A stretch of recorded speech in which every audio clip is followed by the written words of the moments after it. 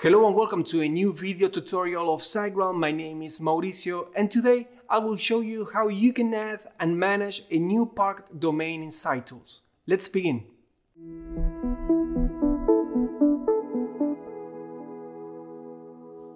Many clients point more than one domain to their websites.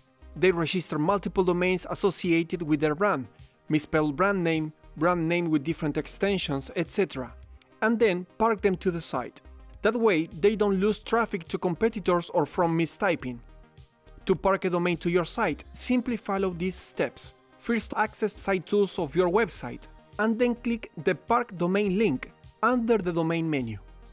Once the page is loaded, type the domain you want to park, and then click the Add button.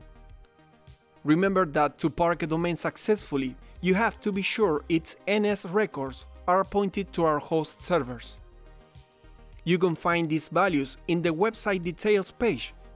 clicking the server details link in the three buttons option. I hope this video helped you to solve the problem. If so, consider subscribing to our channel to learn more about our tools and much more content we have prepared for you. Thank you and good luck.